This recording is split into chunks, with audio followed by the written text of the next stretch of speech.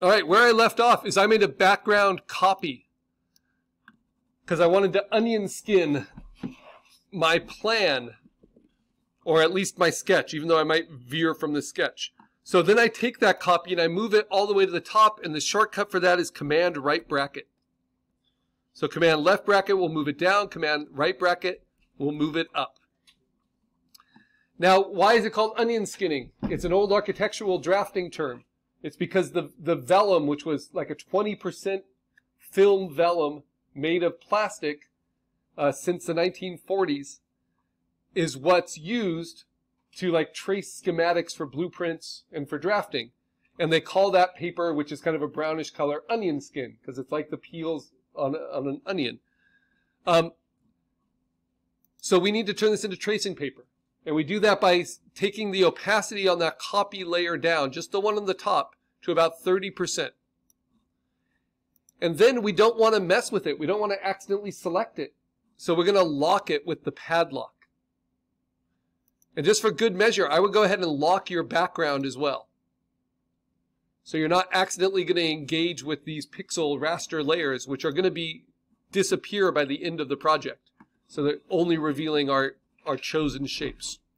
Now what's nice about onion skinning is that is the only layer that shouldn't be 100% opacity, right? But it shows me like having a flap of tracing paper over where I'm layering up my colored paper cutouts. It shows me where everything should go. So what's my next biggest shape that I think I want to use? maybe these circles, uh, the, the rosy cheeks. So what do I do? I use the shape tool again. It's the third from the bottom. I got to hold down on it to open the drawer. Come on, work for me.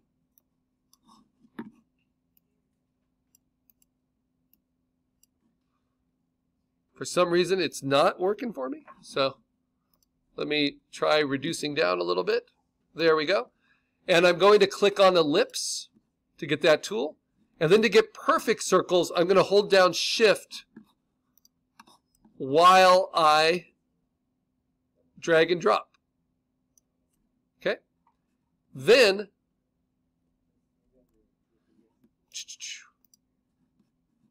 let's see. So I'm selecting on a locked layer on the background layer. And so when I use that and I hold down shift, it's going to give me, whoops. Come on. It should give me an ellipse. It should give me a perfect circle. And it should make it its own layer. There it is. And then I can choose my own color. If I turn off my onion skin or if I keep my onion skin on the top here, I can just turn it off and turn off this background so I can see the color I want it to match and just steal it directly. And then I can use the onion skinning to use the move tool to put it in place. So there's really only two tools we're going to be using a lot of, and that's the vector shape tools and the move tool. Now the technique we're going to use a lot is the free transform technique, which is under edit, free transform. That allows us to scale it, rotate it, distort it, flip it, warp it. Now, why might we need that? Because to get this kind of shape, I'm going to need to warp an ellipse tool. But this is the beauty of vectors because they're always perfectly clean at any size as long as it's still a vector shape. You can see in the little corner icon, I can just duplicate it, Command J, and get another copy and then move that over. So duplicate is another technique that's incredibly helpful. Now, how do I make this mouth? I'm going to do the same thing. Circle tool, draw it.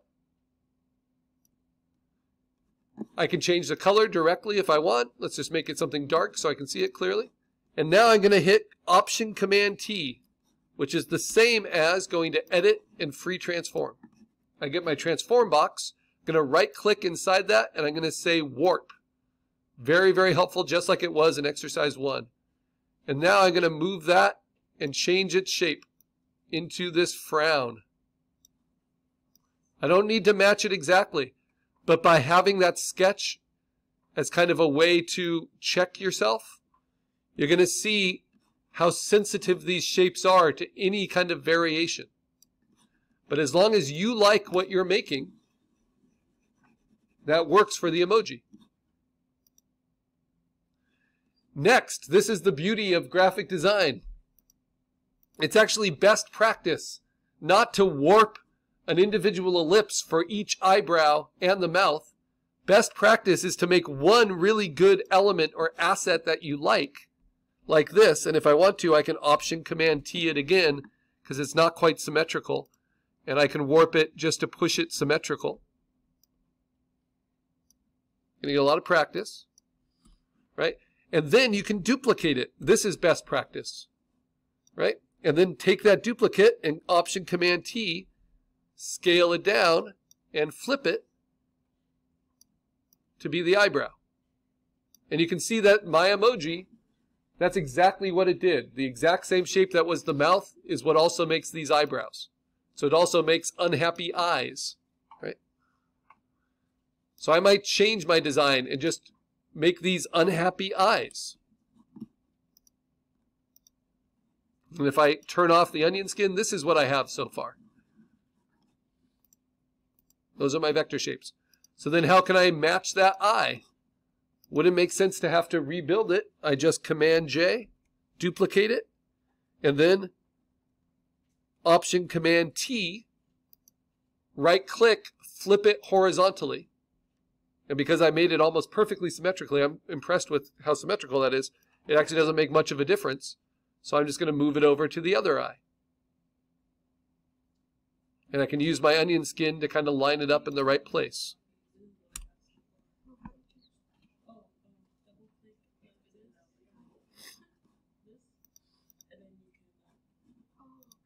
So that's what I have so far. And at any time I can change the color of any of these just by double clicking on the preview icon for the shape layer. So if I wanted to turn it to a brown instead, which might be nice, instead of the, the heavy black, I can kind of find that color. And then for the others, I can just steal that color from the one I already chose. But maybe I'll leave the mouth black for now. Next, how do I get something as crazy as this kind of cloud because I wanted a cloud of smoke that was like this uh, head being exploded. Just lots of circles, right? Lots of basic shapes. So I start. So here's one thing that might happen to you. When you hold down shift and make a new shape in Photopea on top of an existing shape, it actually creates what's called a compound path. It puts them both in the same layer while still being a vector. That's actually something I haven't noticed in Photoshop with shape tools. That's pretty helpful. But it might limit the shapes you're able to make, right? Because then if I rotate this or if I, whoops, command, I got to do option, option command T. If I rotate it and change it, I have to make sure I'm only selecting that layer instead of both of them. So it's a little annoying because it's it's hard to then option command T this one, even though they're in the same layer. So I recommend instead of using that compound path ability by holding down shift and drawing on top of an already selected shape, you do them each as their own shape. So how do you do that? You always start start your shape like your circle without holding down shift. Once you've started it, hold down shift. And then it will always be a new shape. Shift at the beginning means you want to add it to the existing vector layer. Shift after you've started it means you want it to be perfectly circular. And then you can option command T it and shrink it down. So I'm going to show you, I'm going to build a lot of these circles. I'm going to do it quickly just by command J and then Option Command T and growing them.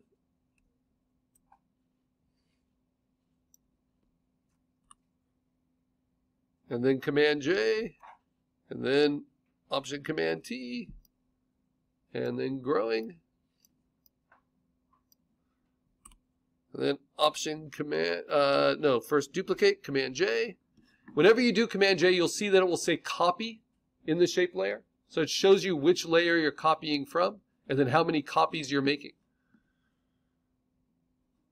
And then you can use the move tool to move those copies around and then option command T for free transform to shrink it down, move it into place, hit return, next one.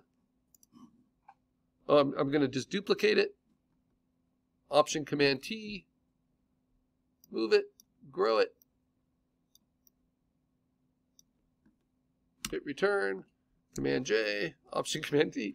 So you can get incredibly complicated shapes by layering up multiple basic shapes. And as long as they're all the same color, they'll all look like they're the same shape.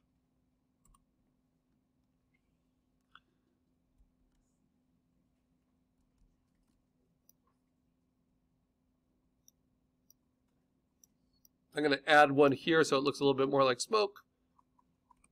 Then I'm going to Command J, Option Command T. And I'm just going to keep building this smoke with different size circles that are a little asymmetrical. Command J, Option Command T.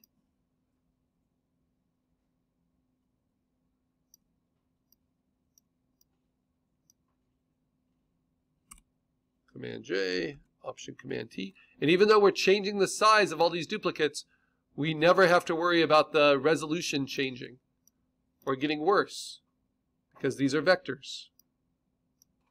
They're always perfectly clean. Command J, Option Command T. That's why they can't be rasterized. Otherwise the computer would have to invent pixels. Here it just it just matches the mapping of the vector. And then I'm going to do one more, Command J, Option Command T, and then I'll show you kind of what I've got. Shrink that down, put it up here. So if I turn off my onion skinning, that's what I got. All these different circles. If I use my move tool and have auto select layer checked, I can hold down shift and select all of these. You see how they're all lighting up?